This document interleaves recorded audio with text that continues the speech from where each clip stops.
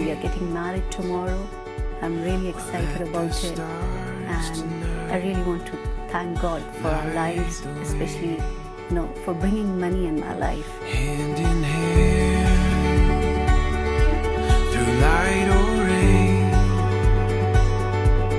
it's your constant love that gives me strength.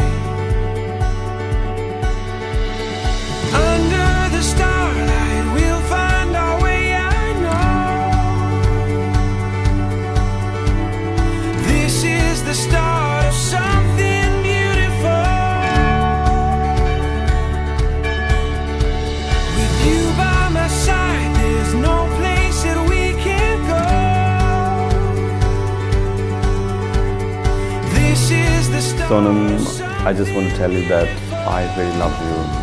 And people always say that Mani, you are a lucky guy. And I really, I am a lucky guy to have you in my life. And I really promise to love you, to honor you, to respect you.